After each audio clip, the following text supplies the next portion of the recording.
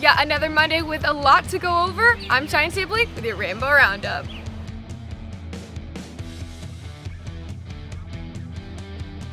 Men's basketball keeps the win streak alive, defeating CSUN on Thursday and coming back from a 19 point first half deficit on Saturday to beat defending Big West champs UC Santa Barbara. Bernardo da Silva led the team on Thursday with a career high of 19 points against the Matadors. And on Saturday night, Junior Madut led UH with 16 points, 9 rebounds, and 3 assists. The Bows go back on the road for a pair of matches against UC Riverside and UC Davis this week, looking to keep the streak alive. A new era of Hawaii football has officially begun as Timmy Chang was formally introduced last Friday at the SimpliFi Arena as head coach, addressing his supporters for the first time after accepting the position over a week ago. But before arriving to Oahu, Coach Chang was hard at work announcing his first hires to his coaching staff. On Friday, Coach Chang had this to say.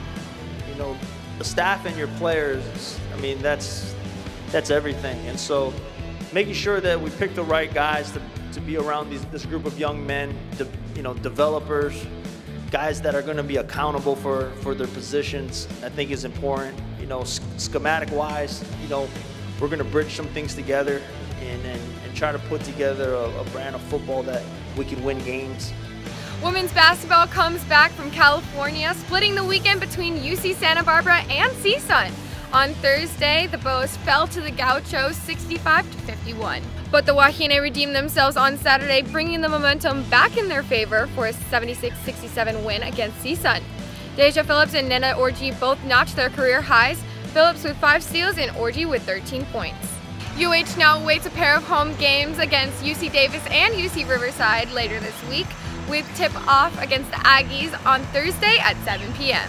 With four crucial Warriors out due to health and safety reasons, men's volleyball hit a bump on the road, losing to their first match of the season against Ball State in a sweep this past Saturday.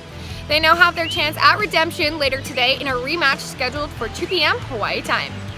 Water polo comes back from their season debut in the Michigan Invitational, taking three wins out of the four matches. On day one, sophomore Laura Luca led the team with six goals to start the year against Michigan and Marist. On day two, the Bows swept Indiana and Salem, with Luca still showcasing her dominant appearance, adding six more goals to the year. The Wahine will now have two weeks to prepare for the Triton Invitational.